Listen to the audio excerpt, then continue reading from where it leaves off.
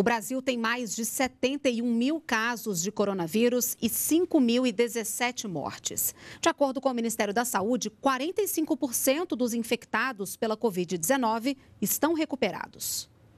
O ministro da Saúde explicou que o crescimento acentuado do número de casos confirmados e de óbitos demonstra um agravamento da situação do novo coronavírus no Brasil. Como a gente tem uma manutenção desses números elevados e crescentes, a gente tem que abordar isso como um problema, como uma curva que vem crescendo, como um agravamento da situação. O Ministério da Saúde afirmou que está trabalhando para atender as demandas dos estados e municípios mais afetados. Nós estamos distribuindo em torno de 185 respiradores para aqueles estados e municípios mais afetados.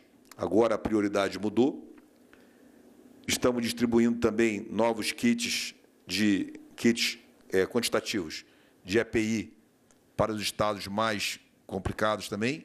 E estamos contratando recursos humanos pelo Ministério da Saúde para reforçar as equipes de saúde que estão combatendo nesses estados e municípios também. E o Ministério da Saúde já conta com cerca de 500 mil profissionais dispostos a atuarem no combate ao coronavírus. Os primeiros profissionais serão chamados para reforçar o atendimento no Amazonas.